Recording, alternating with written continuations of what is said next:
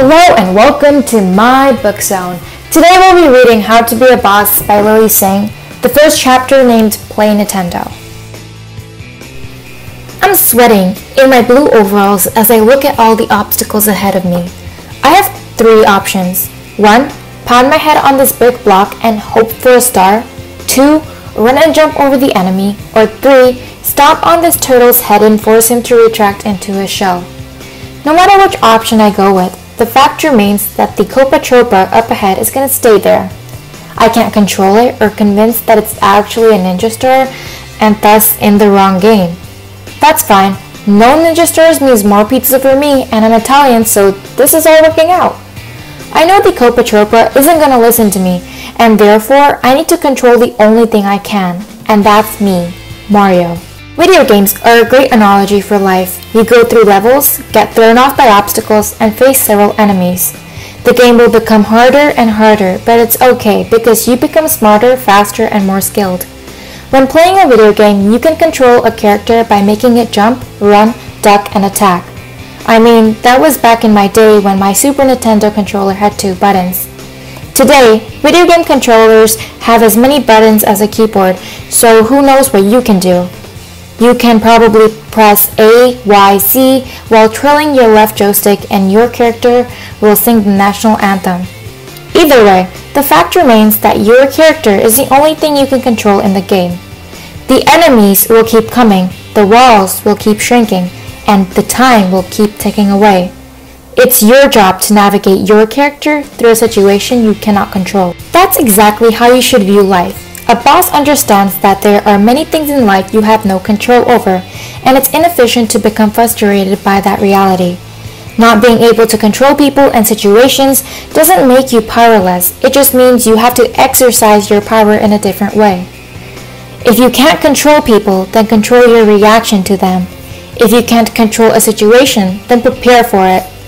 Before I started my career in the entertainment industry, I was the leader of a small dance company if you could even call that, in Toronto.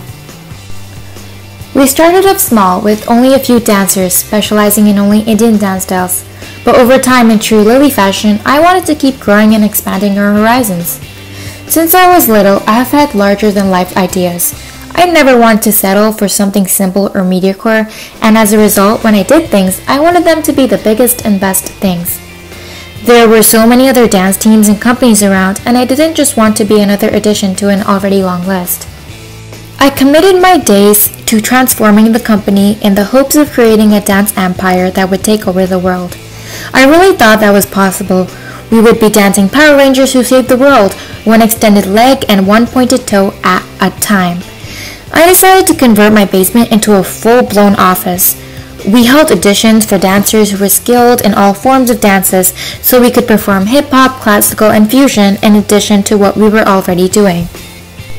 I organized photo shots and video shots and other creative marketing techniques. I had so much drive and determination that no injury, financial strain, or competition would steer me off my path. What I couldn't see, however, was the one obstacle that was in front of me the entire time and which caused everything to fall apart the team itself. I had such big dreams for the company, and I was always willing to work for them.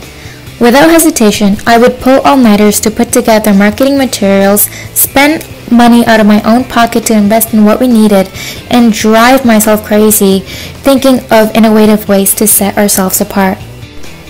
But then I would arrive at practice and deal with three dancers showing up late, one not showing up at all, and two of them leaving early. Getting people to put in work on events to help our brand was like pulling teeth. We often performed at weddings and thus needed to adhere a professional dress code, yet some dancers would occasionally show up wearing shorts and flip-flops. I would get so frustrated with them because I was putting in so much work for this dream, but the reality of the situation was that the dream was mine, not theirs. I tried for years to control them and make them work for something they didn't care about as much as I did, and it didn't work. My dance company dreams faded away gradually, but the process was hastened by my discovery of YouTube. I remember feeling a new sensation the first time I uploaded a video. I wrote the script, shot it, edited it, and released it. No one else was involved or required, and the independence was exhilarating. Soon, I developed an even greater drive and passion for my career as Superwoman than I'd had previously with my dance team. This time, however, I wasn't trying to control a group of 20 people every time I needed something to get done. The only person I needed to control was the only person I could control, and that was me. Today, of course, I have a team that surrounds me and helps me to build my business, but Lilly is still at the root of Superwoman. The success of Superwoman and the failure of my dance team helped me learn a very important lesson. Work with what's in your control. This lesson can be applied to so many situations in our lives. You get frustrated when your parents nag you, so every time they do, you storm out of the room. You can't control your parents, so stop trying. Instead, use that energy to control your reaction the next time they nag you.